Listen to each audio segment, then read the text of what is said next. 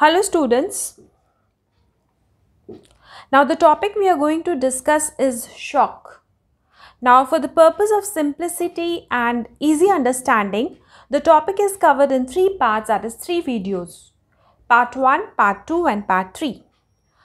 First video that is Part 1 deals with introduction to shock and the different types of shocks.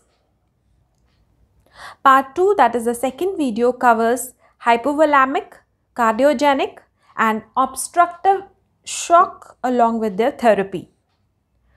Third video that is the third part cover all the three types of distributive shock namely septic, anaphylactic and neurogenic shock along with their therapy. This is the first video that is shock part 1. In this video, we will discuss what is shock, its clinical features and the types of shock. Now, shock is a state of circulatory collapse. That is a condition in which there is failure of blood circulation. Further, it is characterized by inadequate tissue perfusion. That is insufficient blood flow to the tissues. Shock is a life-threatening situation. Shock leads to inadequate tissue perfu perfusion, that is, uh, insufficient blood flow to the tissues, which leads to reduced oxygen supply to the tissues, that is, tissue ischemia. Ischemia results in necrosis of tissue, that is, tissue death, followed by organ failure, which further progresses to multi-system organ failure. When we talk about the clinical features or the symptoms of shock, uh, the initial symptoms of shock are hypotension, that is fall in the blood pressure, weak rapid pulse, dizziness, that is lightheadedness uh, or unbalanced feeling, cool, pale, sweaty skin, weakness, fast heart rate, fast breathing, sweating, anxiety, increased thirst, oliguria, that is reduced urine output. All these symptoms are the classical symptoms of shock and these symptoms are common to all the types of shock uh, due to reduced tissue perfusion. Worsening of situation if the shock remains untreated results in confusion, unconsciousness and cardiac arrest. Untreated uh, shock is in most of the cases fatal and it results in death.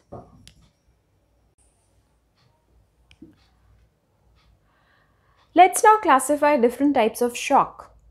First type of shock is the hypovolemic shock, commonly called as low volume shock.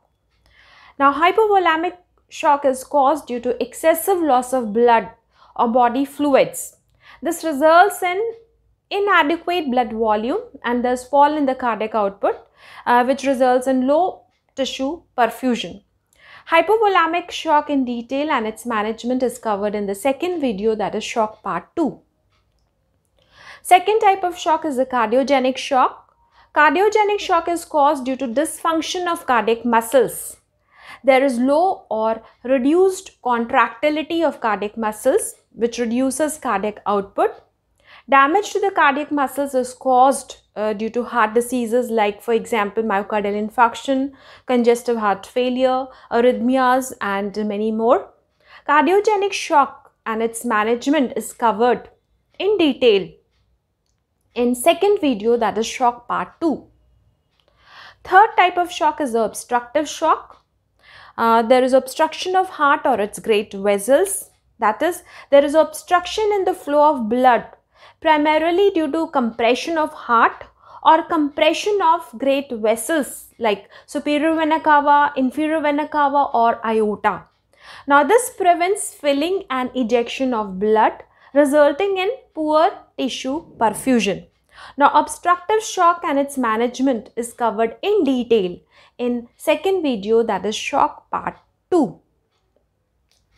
Now fourth type of shock is called as distributive shock now, in this shock, heart pumps well, but there is extreme vasodilation. And this extreme vasodilation prevents distribution of blood to the tissues.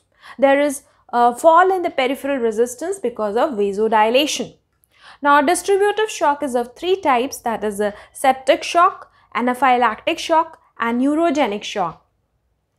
Septic shock is also termed as sepsis or blood poisoning It is caused because of infection, primarily uh, due to infection by gram-negative bacteria. Now, endotoxins are released by the bacteria in the blood.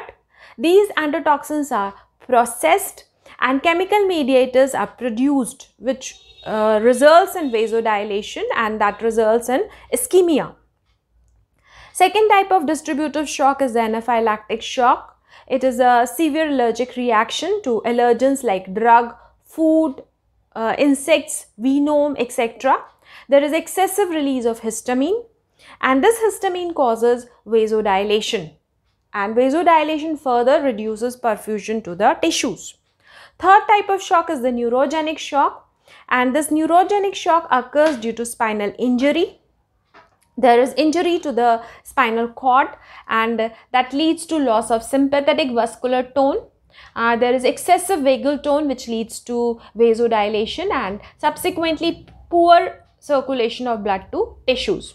Now distributive shock.